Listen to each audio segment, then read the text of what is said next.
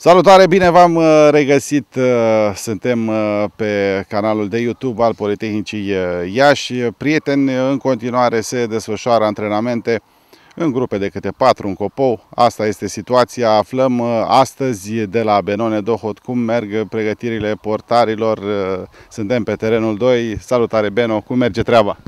Salutare, treaba suntem la început, abia suntem la al doilea antrenament ne vine destul de greu cu aceste condiții impuse de federație, și, dar uh, băieții sunt uh, uh, cu poftă de antrenament. Sperăm să fie tot ok până la finele acestor pregătiri. Cum a fost reîntâlnirea cu gazonul din Copo pentru tine, pentru elevii tăi? Da, extraordinar. Avem două terenuri impecabile. Nu știu dacă sunt în țară terenuri așa de bune ca la noi. Uh, terenul, cel puțin uh, terenul 2 și-a revenit fantastic față de perioada când am plecat, când era avut de suferit. Uh, se prezintă în condiții foarte, foarte bune ambele terenuri și avem niște condiții de pregătire foarte bune. Ai reușit să iei pulsul portarilor? Cum sunt după cele două luni de, peste două luni de inactivitate? Am ținut legătura permanent cu ei, s-au făcut antrenamentele online care uh, le-au făcut cu toată echipa. Uh, pentru început și ei vor uh, intra în programul echipei, în programul pe care îl face toată echipa pentru reacomodare la efort, pentru a ne Vă dați seama, două luni în care nu, nu s-au ieșit afară, după care la sfârșitul de, de la sfârșitul săptămânii vom intra pe specific și ușor, ușor trebuie să ne intrăm în, în formă. Ceva kilograme plus la vreunul dintre ei? Absolut niciun. Niciunul din portar nu are niciun kilogram în plus. Deci ok. E... Ok, inclusiv antrenorul. inclusiv antrenorul. Da. Așa, care va fi programul? Mai aminti ceva că pe, pe la finalul săptămânii intrați pe, pe specific. Cum, cum reușești să, să faci un program în aceste 14 zile, știind că nu se vor întâlni probabil cu cu faze de joc, cu antrenamente în grupuri mai mari? După cum știți și voi, uh, să faci uh, antrenamentele în grupuri de câte patru. Trebuie să respectăm uh, normele care ni s-au impus.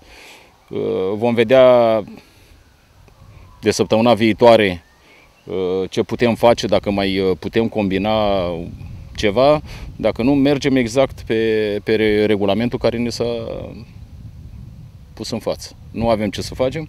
Urmând ca peste 14 zile să intrăm uh, ușor, ușor în, uh, în uh, antrenamente mai complexe, în antrenamente cu număr mai mare de jucători. Acum, la portar, cel puțin pe mine nu mă afectează, pentru că sunt trei portari, pot să-mi desfășur antrenamentele în, în condiții foarte bune.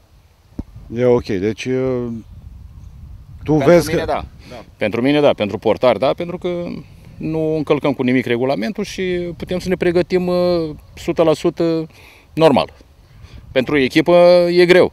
E greu pentru că, vedeți, voi să fac antrenamente cu câte patru jucători, mare lucru nu poți să faci. Eu știu să îmbunătățească partea fizică, dar vă dați seama, fotbalul trebuie să-l jucăm la comun, trebuie să jucăm în, în efectiv complet. E greu, dar trebuie să ne adaptăm și trebuie să respectăm uh, regulamentul care ne s-a impus. Uh, portarii vor fi afectați de uh, acest program care se anunța a fi infernal, uh, jocuri din 3 în 3 zile? Normal că toți jucătorii care vor participa la acest final de campionat uh, vor exista meciuri uh, din 3 în 3 zile. Avem trei portari, oricare dintre ei poate să apere. Eu zic că din punctul ăsta de vedere stăm uh, foarte bine. Acum o să apere care este cel mai în formă, o să-i simțim că unul din ei este obosit sau uh, ne permitem să, să facem o schimbare, o să o facem. Dar nu o să facem schimbări de dragul de a face. O să apere care este cel mai în formă, urmărim să obținem rezultate, pentru că avem nevoie de rezultate și eu cred că ne vom descurca foarte bine în poartă. Îți mulțumesc foarte mult pentru toate aceste mulțumesc. detalii.